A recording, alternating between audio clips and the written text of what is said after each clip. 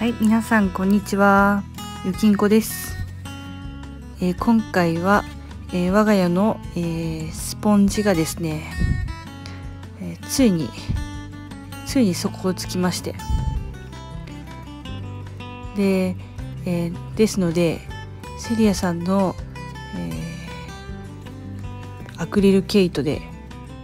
エコたわしを、え作りましたよっていう動画です。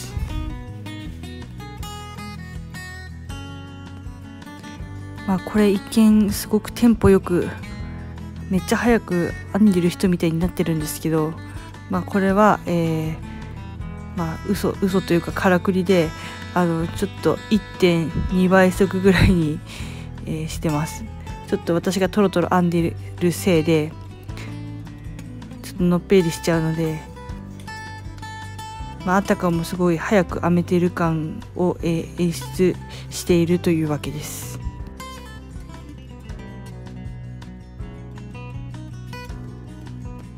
まあ、今作ってるのは、2枚作ってそれを合わせて出来上がりっていうあのよく見るオレンジの形をしたエコたわしを、えーこれは作ってます。でオレンジ色の毛糸が、え家になかったんでちょっと緑で代用して、えーライムっぽい仕上がりに、えなるであろうものを、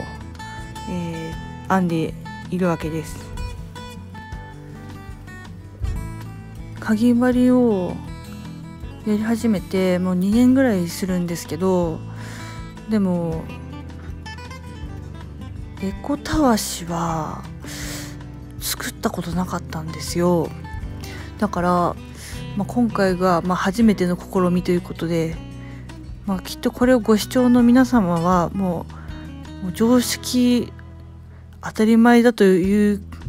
まあ、感も感覚ではあるかもしれないんですけど、まあ、私の中では、まあ、初めてだったという、まあ、ことなんで、まあ、ちょっと、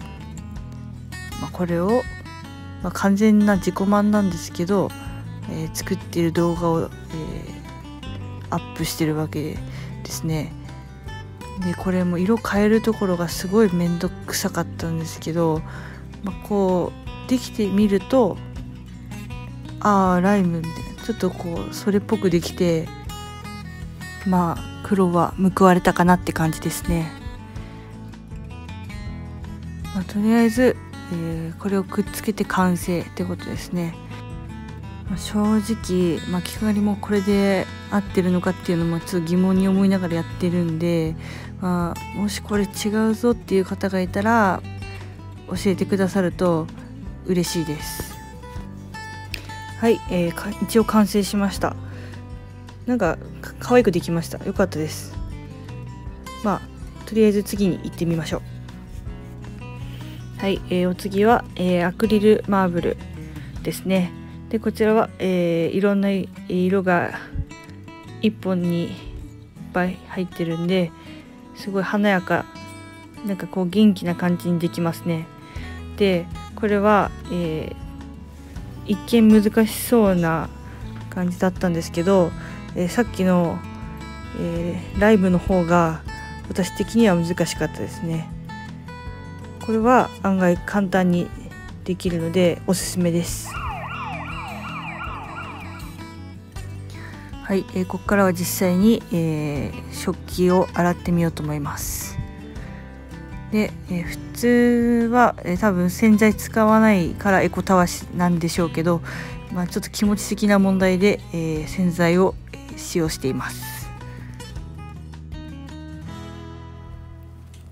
まあ、こちらも、えーちょっと可愛くてもったいないんですけど、えー使ってみようと思います。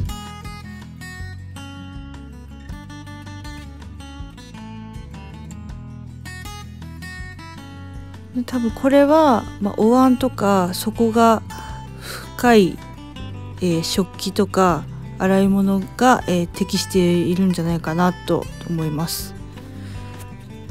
でなんかさっきのライムはやっぱりこう平らな、えーお皿とか、まあ、そういうさっきのお箸とかそういうもの結構マルチに対応してるかなっていうふうには思いますけどね。まあでも